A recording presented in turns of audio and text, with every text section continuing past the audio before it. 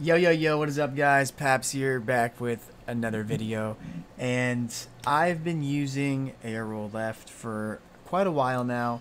Um, I believe it's been uh, five weeks, over five weeks at this point. So I'm pretty good with it, I'd like to think. Um, and for today, I'm just going to do a video where I'm going to go through Lethamyr's giant rings, show off air roll left, put some lo-fi on, and uh, it'll just be a chill video to have on and watch. So yeah, without further ado, um, enjoy.